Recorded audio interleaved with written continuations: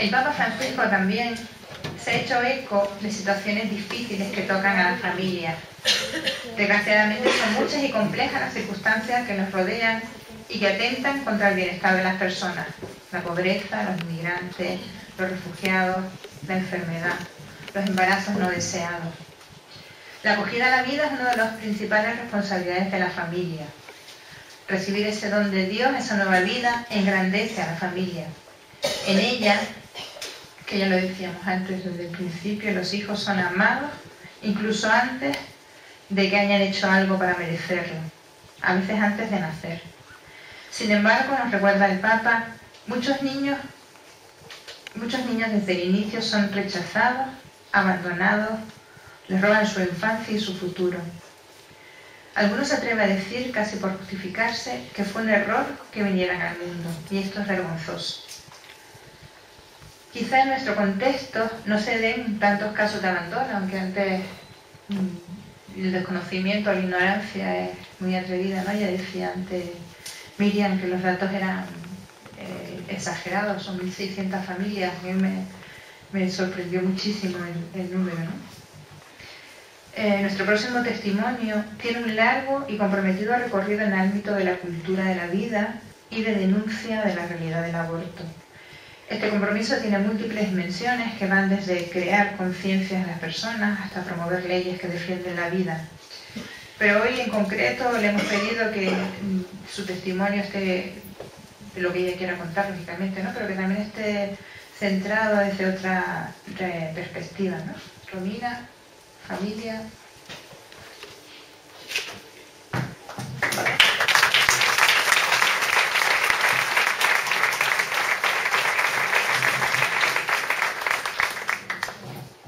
Bueno.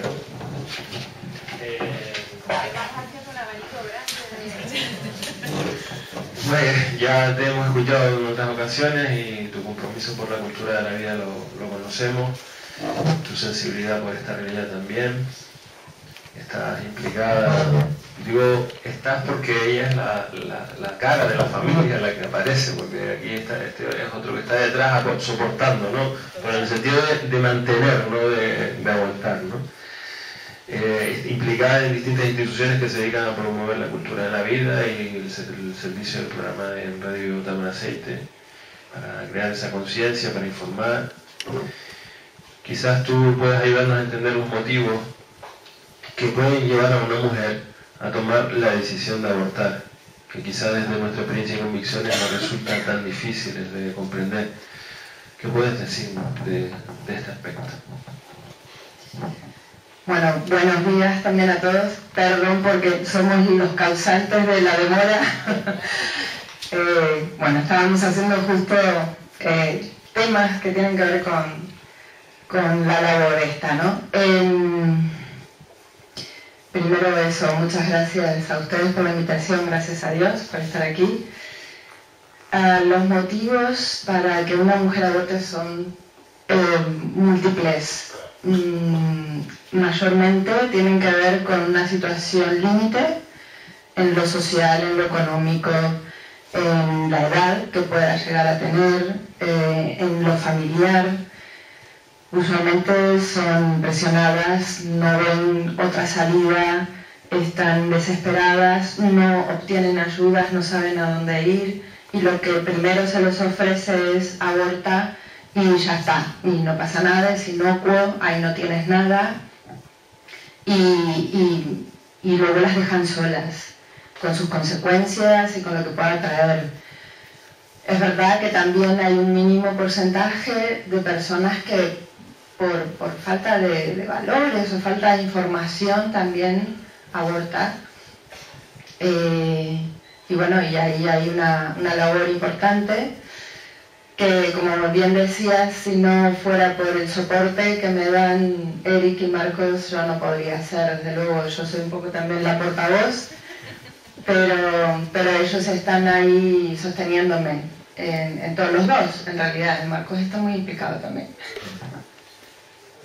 Eh, después te voy a preguntar al final para que las tengamos en la memoria sobre algunos actos que hay recientemente y también para que nos diga el, cuento un poquito del programa de radio, ¿no? Pero un poco en este aspecto de las mujeres, que, porque eh, acabas de decir que hay muchas situaciones, porque hay situaciones límites, ¿no? Entonces, mm, la pregunta que nos surge es, ¿es posible de alguna forma, podemos de alguna forma nosotros acompañar a estas mujeres para que por lo menos consideren la posibilidad de seguir adelante con, el embarazo? ¿Qué, ¿Qué, podemos hacer en esos casos? A ver si nos puede contar algo. Sin duda podemos hacer muchísimo. Usualmente, eh, con simplemente darles por primera vez la enhorabuena, porque no lo han escuchado todavía desde que se enteraron que están embarazadas todo el mundo, como también decía María, le dice lo malo que es eh, traer ese niño al mundo. Eh, te va a quitar a ti tiempo, te va a quitar dinero, te va a quitar vida, te va a quitar futuro, lo que sea, ¿no? Entonces, primero darles la enhorabuena. Eso ya es un mundo para ellas, porque no se lo habían planteado así. O sea, todo era cargas y demás. Y luego escucharlas mucho, darles mucha acogida, darles un oído, un hombro, un abrazo, eso es fundamental y ya con eso tenemos el 80% del trabajo hecho y no nos cuesta nada. O sea, es gratis, no necesitamos uh, subvenciones, no necesitamos nada, simplemente donar un poquito de tiempo. Y, luego, bueno, pues eh, el otro 20% sí, bueno, es quizás buscar recursos, eh, en fin, dependemos de, de otras instancias, pero quien busca encuentra. Y si Dios quiere, pues habrá más también. Eh, bueno, no sé si después puedes añadirnos alguna experiencia concreta que nos ayude un poco a ilustrar esto, ¿no? Pero mm, digo, eh, evidentemente el tema este de la cultura de la muerte es un tema muy duro, ¿no? Porque si uno ve las estadísticas, pues se nos pone el, el pelo de punta, ¿no? Eh, sin embargo, tú llevas muchos años implicada en este, en este ámbito, ¿encuentras algún consuelo en el trabajo que estás haciendo? ¿Esa esperanza de, de dónde nace? ¿Qué tienen como familia que está implicada, como tú decías antes, en esta cultura, en este, este compromiso? ¿Qué tienen que agradecer por, por estar implicados en esto? Pues desde luego tengo muchísimo que agradecer. Eh, no es una tarea fácil, podría ser considerada ingrata incluso, porque eh, mi experiencia mayor es primero en temas de sensibilización y concienciación, eso es lo que llevo más años. Luego en la tarea asistencial tengo un poquito menos de experiencia. Asistencial me refiero a atender y ayudar a madres a que salgan adelante con sus embarazos a madres o al resto también de la familia, porque a veces también toca eh, estar con sus abuelos, con los padres y demás. Em, y, digo que puede llegar a ser ingrata por dos cosas, porque sensibilizar y concienciar es poner una semillita eh, que, como tú decías, em, Pedro, eh, nosotros queremos que, usualmente queremos que brote y verla. Tú lo que estás haciendo en estos temas es poner ese grano de mostaza y ofrecérselo a Dios, y porque tú no vas a ver si eso brota o no brota en ese corazón. Y ofrecerlo, o sea, decir, pues em, no tengo por qué ver la recompensa de eso, que me llegue a mí. Me contento con que esto está ofrecido a Dios y, ahí va a germinar si Él quiere. Eh, también es ingrata porque a veces podría ser llamada ingrata, para mí no lo es. Em, porque a veces no siempre cuando acompañas a una madre, por mucho esfuerzo que hagas, no siempre logras que tenga su hijo. Y, a veces no es por nada, por ejemplo, tú dices un caso concreto, no sé, una chica que simplemente porque, y no la juzgo, ¿eh? desde luego, para nada, pero bueno, una chica que porque se quedó embarazada de, mellizos, de dos niños, y, eso pues además fue inesperado. Eh, si hubiera sido uno lo, lo, hubiera tenido, pero como eran dos y no se veía capacitada y demás, y le dijimos, mira que nos turnamos y lo, cuidamos nosotros, lo que haga falta. Bueno, pues nada, no, se vio este, en esa situación y bueno, pues abortó, ¿no? Y no hubo manera, no hubo manera. Em, y bueno, claro, eso te, eso te duele, eso te duele, ¿no? Pero esto, mm, desde luego que la fuerza la da Dios. O sea, esto es una labor de hormiga, de persona a persona, de eh, cuando estás atendiendo a alguien es, uh, estés atendiendo a esa persona concreta, mm, eh, cuando estás queriendo informar, concienciar a alguien, es casi también ganar conciencia a conciencia. Sea, esto no es grandes masas que vamos a tener aquí y mira y te doy una charla y van a salir todos pro vida. No, o sea, esto es una labor de eso, de, de ir haciendo pico y pala. O sea, y, ¿y por qué perseverar durante tantos años? Pues al principio no fue una decisión consciente, Mm, veníamos en temas de familia recogiendo firmas para el tema del matrimonio, eh, quedamos enganchados con eso. Al final pues eh, surgió que iban a cambiar la ley del aborto actual. Y, surgió la propuesta y yo dije, bueno, venga, va, en el año 2009 y ya cuando empecé a implicarme mucho más, mucho más, ahí sí que, que me di cuenta de que Dios me había puesto, aunque esto es una todavía es eh, un ámbito aconfesional en el que me muevo, eh, era algo de Dios, que me lo había puesto delante que me lo estaba pidiendo, que yo en ese momento no me estaba dando cuenta, pero por suerte, gracias a él, dije que sí, y, cuando yo me di cuenta de que era una misión, que él nos encomendaba, pues eh, agradecidísima.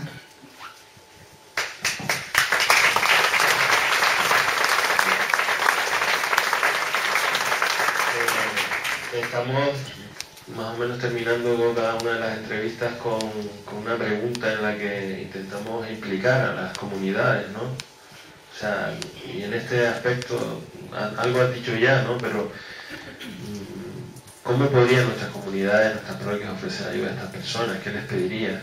Cuando sueñas en el futuro, ¿qué ves? No solamente desde el punto de vista material, que también es importante, pero cuando una chica se ve en esta situación, ¿dónde realmente tiene sitio donde acudir? Hay gente que está dispuesta a escuchar. Esa es la pregunta que me gustaría que, que contestara.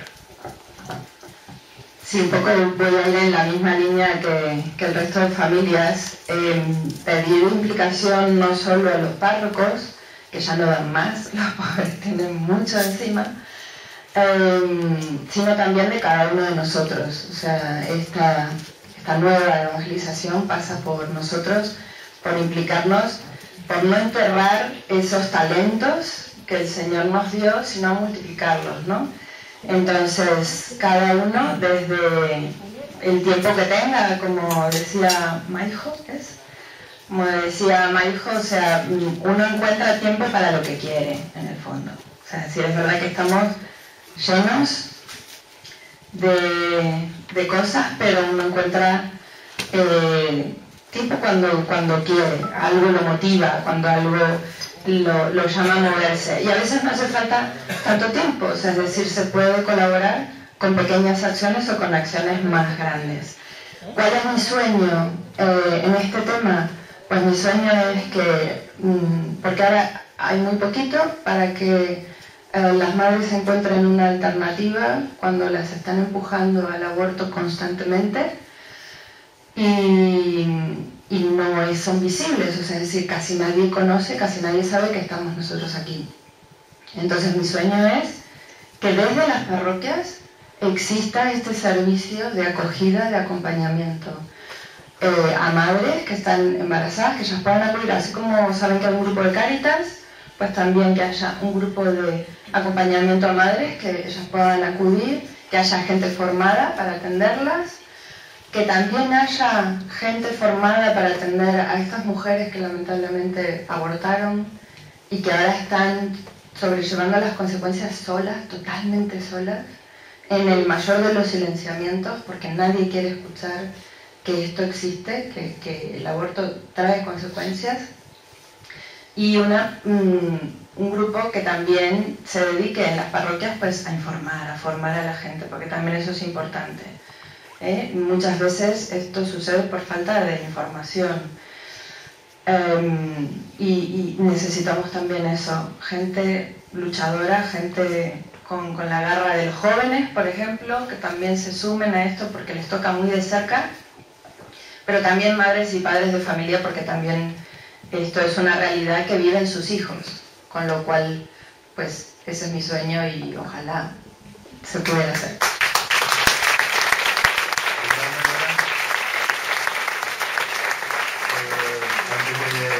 de pasar al siguiente, eh, sí, don Francisco. No, es, es, solo una pregunta porque los demás, los que te han precedido, Romina, nos han dejado para hacerme la pelota a mí, ¿eh?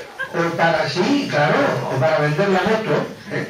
nos han dejado las referencias. Habéis dicho nombres propios, la parroquia del Corazón de María, la parroquia del Centro, el cura tal, el cura cual, el cura cual, el, el servicio de la administración civil, o sea, un poco como como que todos han dicho, mira, si queréis hacer algo parecido, ya sabéis dónde podéis acudir, hasta equipo de Nuestra Señora y tal.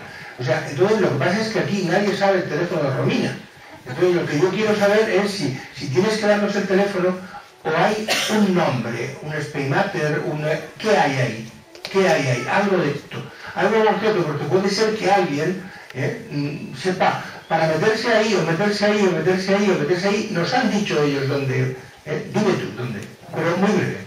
Gracias.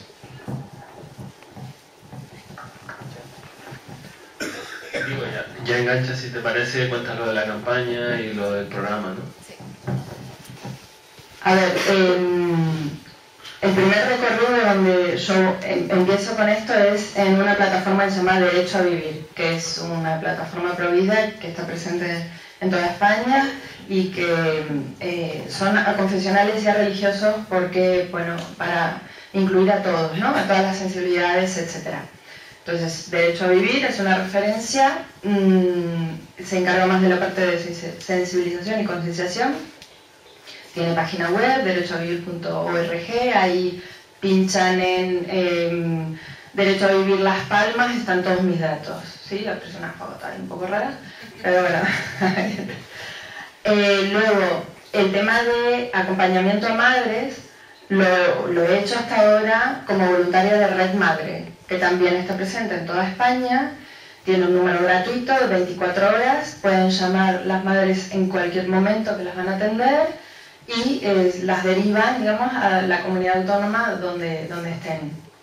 Eh, también tiene página web, redmother.es y bueno, pues si conocen a alguien en esa situación, pues los invito a que pasen el dato. Luego me decía, tenemos también un programa en Radio Tomar Aceite, se llama Que Viva la Vida, en donde hablamos de todos estos temas, que bueno, incluye un abanico muy grande, de hecho también hemos hablado alguna vez de familias de acogida en el programa.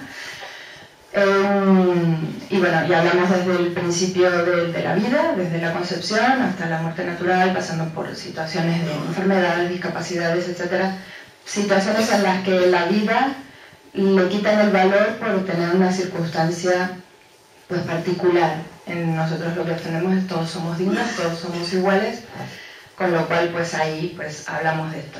También pueden entrar en la página radiotamaraceite.com, ahí está todos los programas nuestros. Y mencionó el obispo, o sea, mi sueño, el sueño que yo decía ahora, era, em, está inspirado en un proyecto diocesano de, asociaciones, una asociación de fieles laicos que se llama Space Matter, que empezó en Ávila, eh, se fundó pues hace ya unos cuantos años, está funcionando en varias diócesis y ellos tienen tres proyectos que llevan a cabo. Uno es el proyecto Ángel, que es este que de ayuda a las madres de acogida en las parroquias. Otro es el proyecto Raquel, que es el que ayuda a las madres, a las madres, perdón, no, a las mujeres con síndrome posaborto. Y otro es el proyecto Parroquias por la Vida, que justamente está de sensibilización, de formación en las parroquias. Estamos pues con ganas de ponerlo en práctica aquí en esta diócesis. Si Dios quiere, pues se hará. Y para cerrar, porque ya me estoy extendiendo mucho, les paso un avisito. Eh, con Derecho a Vivir vamos a hacer unas jornadas de, de ética, de ciencia y ética por la vida, este viernes 1 de diciembre en el Club La Provincia en la calle León y Castillo 39, el antiguo Club de Prensa Canaria. a las 7 de la tarde. pues día viernes 1 de diciembre, o sea, este viernes que viene, a las 7 de la tarde en el Club La Provincia.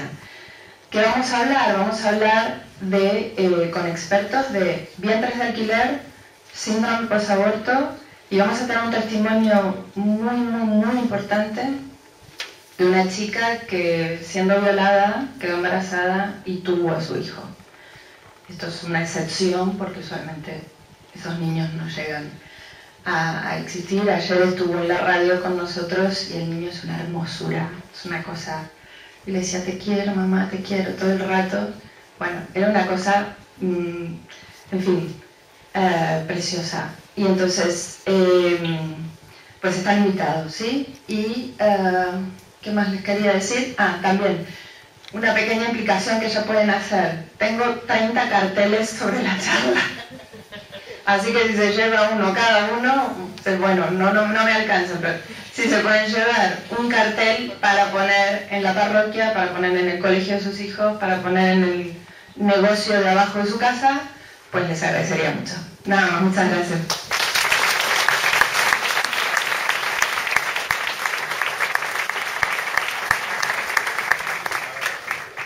Nos dice el Papa que el embarazo es una época difícil, pero también es un tiempo maravilloso, ya que la Madre acompaña a Dios para que se produzca el milagro de la nueva vida.